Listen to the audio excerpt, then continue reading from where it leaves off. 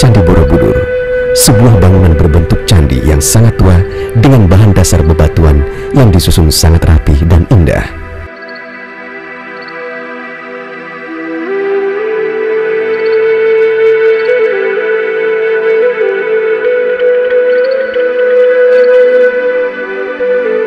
Bangunan ini memiliki banyak stupa dengan berbagai arca di dalamnya.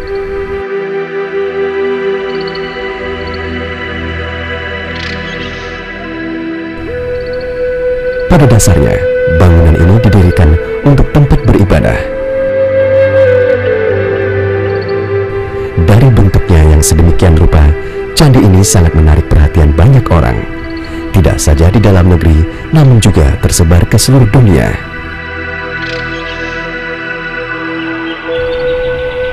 Dari catatan sejarah bangsa, bangunan ini didirikan pada masa berkuasanya Raja Sailendra.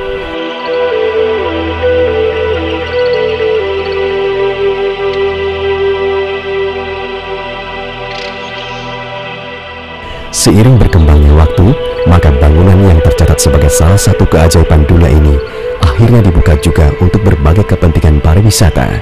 Meski hingga saat ini fungsi utamanya masih tetap sebagai tempat beribadah kaum pemeluk agama Buddha.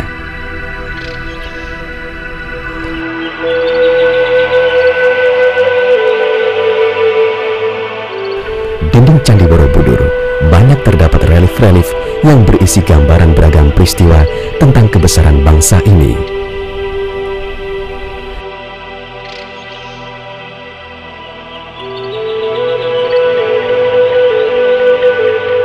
Salah satu relief yang terdapat di candi ini menggambarkan tentang sebuah perahu tradisional. Keberadaan gambar inilah yang menarik perhatian seorang bekas angkatan laut kelahiran Inggris, Philip Bell, untuk mencari tahu tentang sejarah keberadaan perahu ini.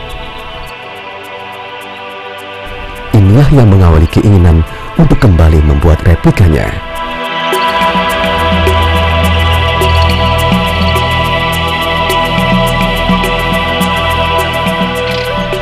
Menurut catatan sejarah, jenis perahu inilah yang digunakan oleh para pelaut kita zaman dahulu untuk berdagang hingga ke belahan dunia lain dan salah satu tempat yang dikunjungi sampai ke benua Afrika.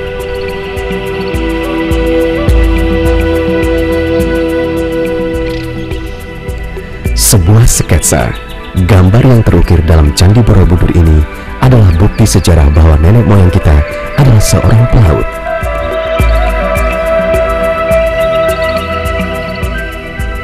Impian segera terwujud dengan berhasilnya Philip Bell menemukan para pembuat kapal tradisional yang sangat berpengalaman.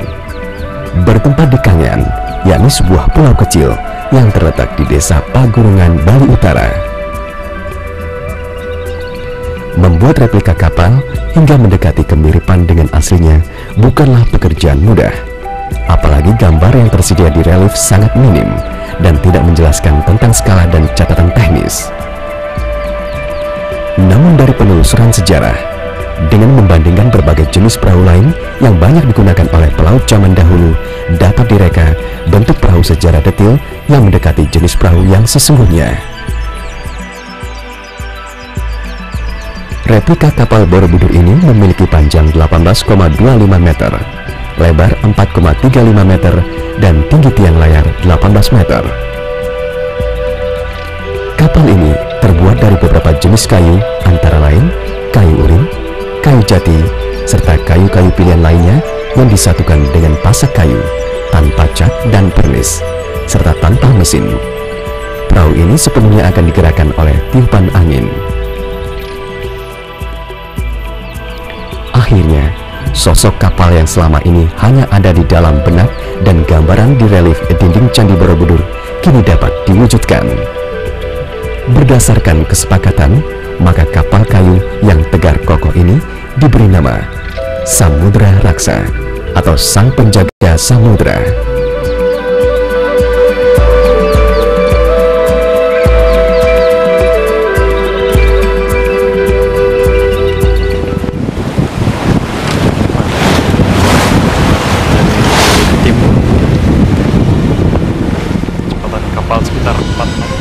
Philip Bell bersama para kru perahu mencoba mengulang kembali sejarah bahwa pada awal era milenium jembatan terapung ini pernah mengantarkan nenek moyang bangsa Indonesia melalang buana, bahkan hingga ke Afrika. 15 Agustus 2003 Pagi itu adalah hari yang sangat ditunggu Karena mulai hari inilah mereka akan membuktikan pada dunia Sebuah perjalanan panjang, pemukir prestasi dicatatkan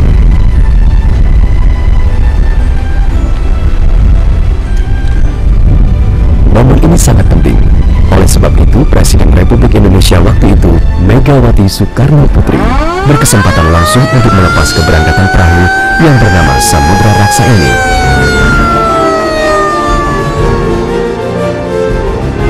Sebuah perjalanan atau ekspedisi perahu untuk kembali mengulang masa kejayaan maritim nenek moyang bangsa Indonesia tempo dulu.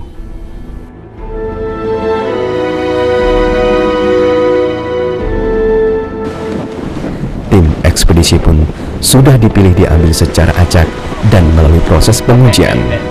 Yang terkumpul adalah para awak perahu dari berbagai latar belakang. Ada dari kalangan akademis, wartawan, baik nasional maupun internasional, serta beberapa kru nelayan tradisional.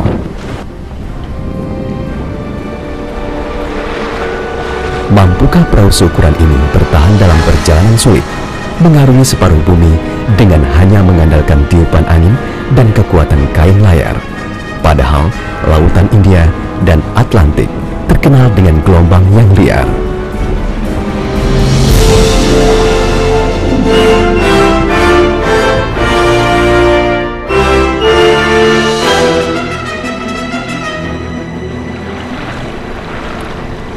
Tilas ini menggunakan jalur rute kayu manis, yaitu jalur yang dilewati oleh para pedagang pada abad 8 dan 9 dahulu dengan menggunakan perahu tradisional sejenis. Lega ya. Aduh, habis Hampir Habis sebagian besar orang tidak badai. percaya dan berbagai pertanyaan muncul. Apakah perahu kayu ini akan selamat sampai tujuan? Atau apakah perahu kecil ini mampu mengatasi terjangan badai yang akan menghadang? Mengingat rute perjalanan nantinya adalah rute yang mematikan. Namun keyakinan para kru perahu dapat menepis semua keraguan itu.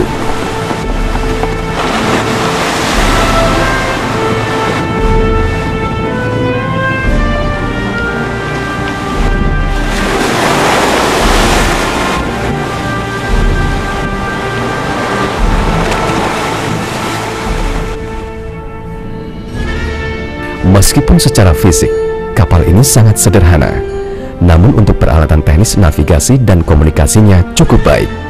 Karena perahu sekecil ini dilengkapi pula dengan peralatan modern, sehingga pemantauan keadaan cuaca dan kondisi perjalanan dapat terbaca.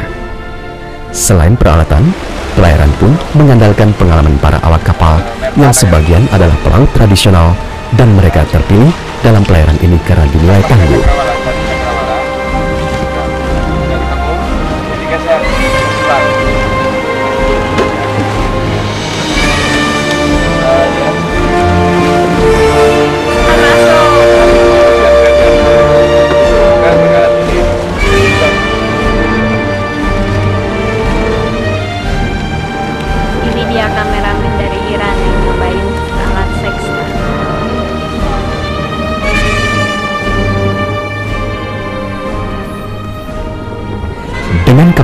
Sangat terbatas, karena memiliki ukuran lambung perahu yang relatif kecil, para awak yang diikutsertakan direncanakan untuk saling bergantian pada pelabuhan-pelabuhan yang disinggahi nanti.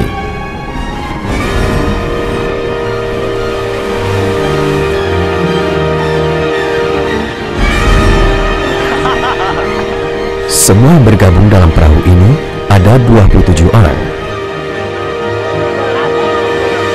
Inilah suasana dalam perahu. Berbagai kegiatan dilakukan. Suasana berganti setiap saat. Karena ini adalah kerjaan sebuah tim, maka dalam tugas pun dibagi secara ketat sesuai dengan peran mereka masing-masing.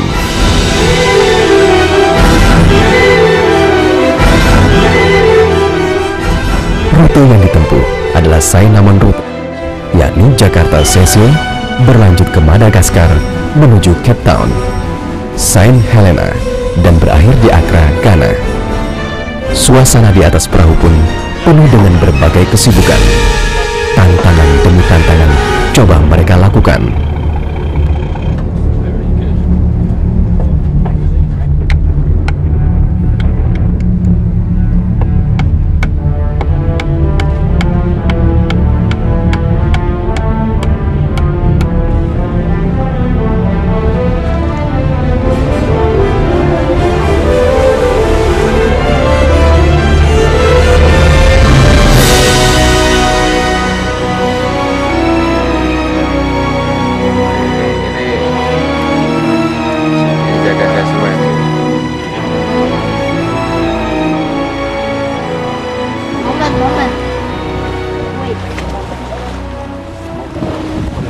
Kegiatan kita di sela-sela menunggu angin karena hari ini tanggal 30 30 tidak ada angin. Sudah tiga hari kita nggak ada angin.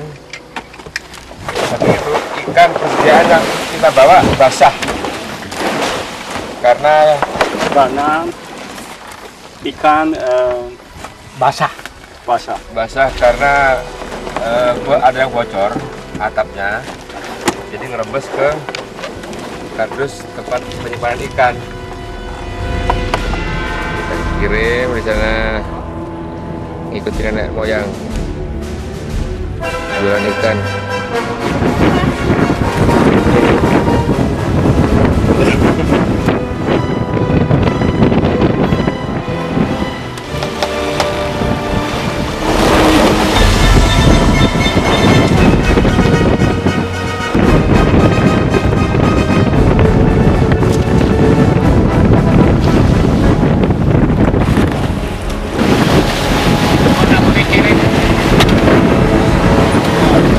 siapa jok.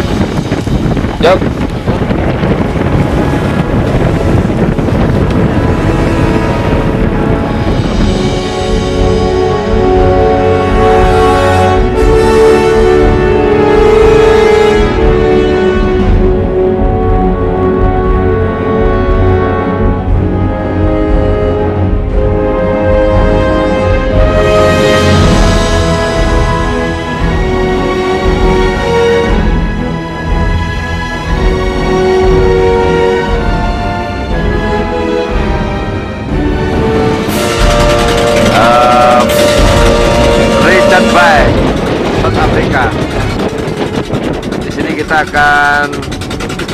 bekal ulang lagi bahan bakar, kemudian perbaikan layar, sama istirahat.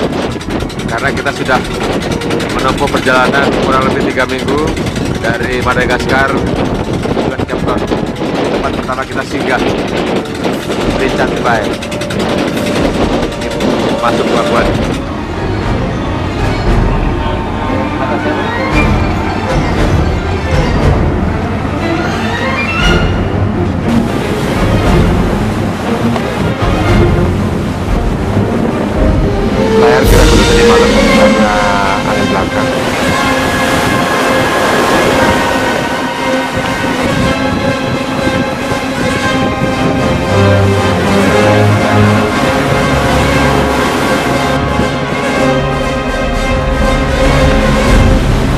Berbagai suasana dilalui. Jika laut dan cuaca sedang bersahabat, maka inilah saatnya para kru sedikit dapat bersantai, menikmati keadaan sambil bercanda. kalau misalnya sendoknya jatuh itu artinya mereka kalah ah jatuh jangan lihat situ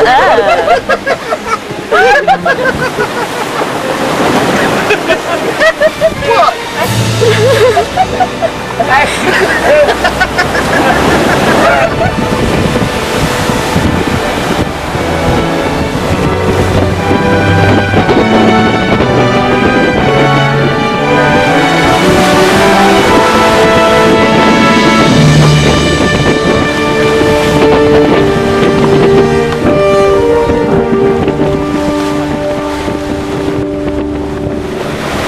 Godzilla Captor.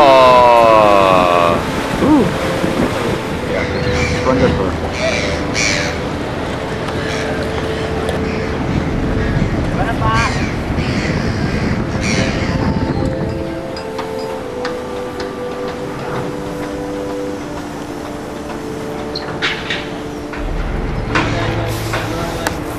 mendoakan kapal biar kapal selamat sampai di tempat أنعمت عليهم غير المغضوب عليهم ولا الضالين.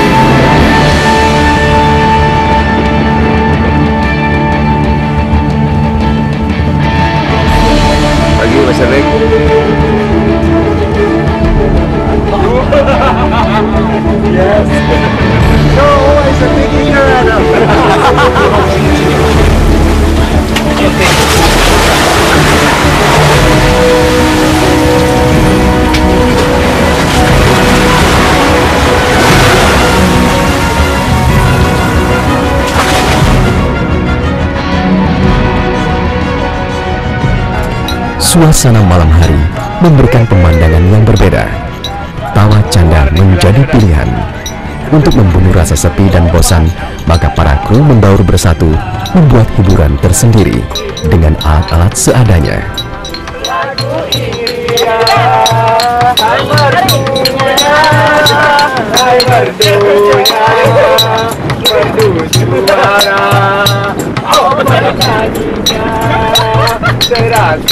Malam berganti pagi, pagi berganti malam. Demikian seterusnya. Ratusan, bahkan ribuan mil telah dilalui. Terkadang angin kencang membuat perahu terayun atau terpaksa berputar jika datang angin dari arah yang tidak diinginkan. Hanya kemampuan, pengendalian, dan kerjasama tim yang dapat mengatasi berbagai persoalan sedikit demi sedikit dapat mereka atasi.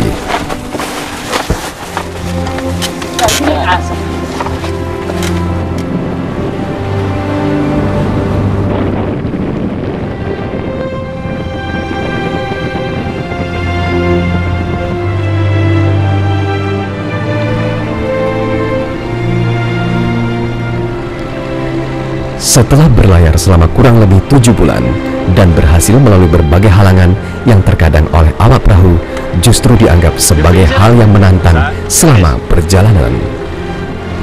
Ah, thank you, Eric. Tidak ada kebahagiaan yang lain yang mengalahkan ketika dari kejauhan dengan pemandangan sebuah pelabuhan.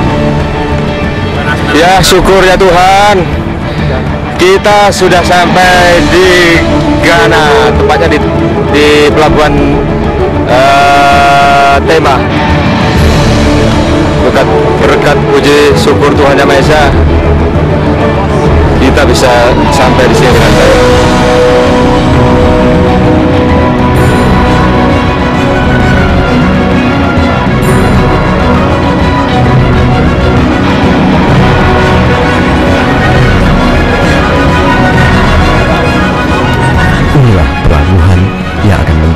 persinggahan terakhir perahu samudera raksa. Perahu samudera raksa ini tiba di tema Habur, Accra, Republik Ghana.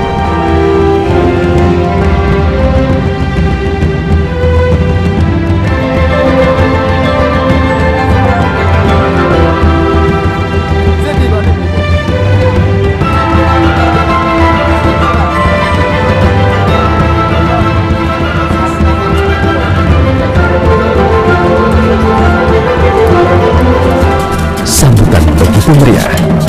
Tarian khas Afrika dipertunjukkan. Sebuah prestasi besar telah diukir oleh Philip Bell dan kawan-kawan. Perjalanan yang membuktikan kembali bahwa bangsa Indonesia dahulu memang pernah sampai ke berbagai tempat di belahan dunia, termasuk benua Afrika ini.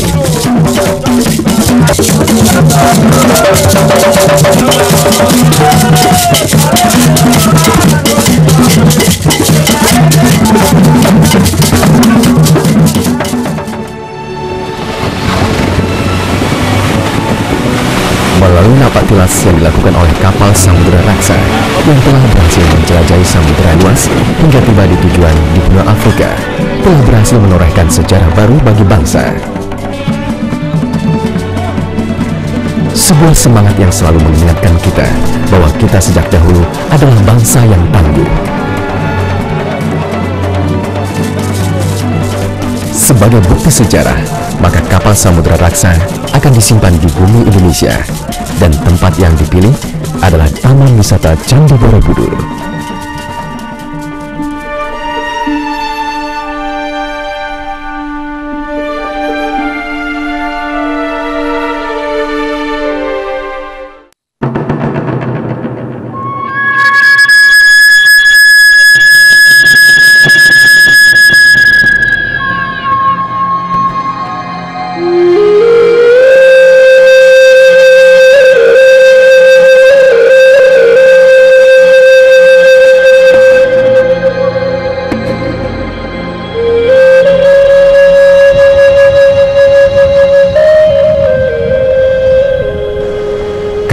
Di Semarang.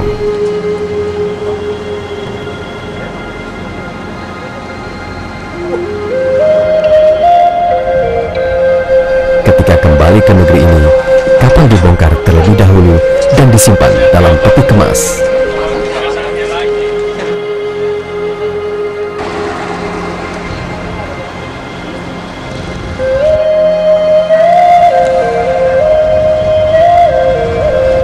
Kontainer yang berisikan bagian-bagian kapal kayu diangkut melalui jalan umum menuju lokasi yang sudah ditentukan, yakni Taman Wisata Candi Borobudur.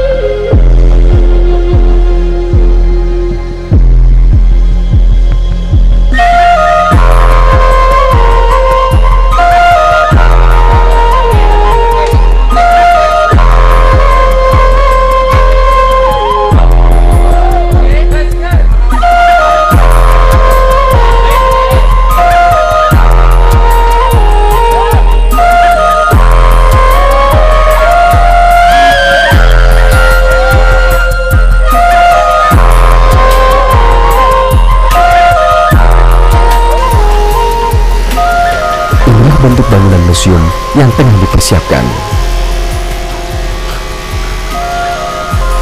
Dalam pengerjaan museum ini, ada dua tim bekerja yang terlibat. Masing-masing adalah tim yang mempersiapkan bangunan museum, dan tim lain adalah mereka ini yang sedang merangkai kembali perahu yang diletakkan sebagai objek sentra dari bangunan gedung.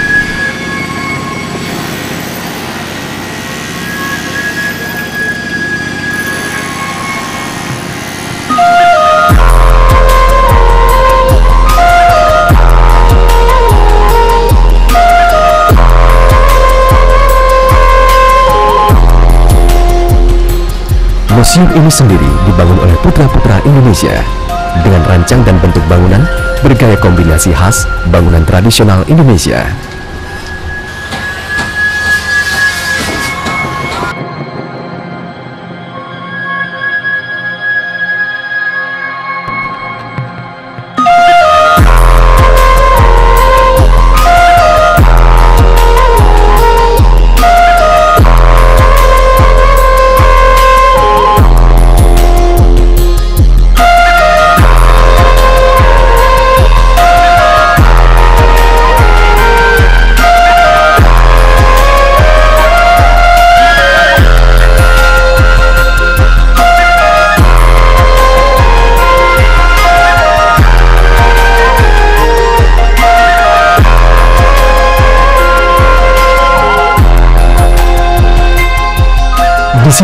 Akhirnya kapal kayu samudera raksa berlabuh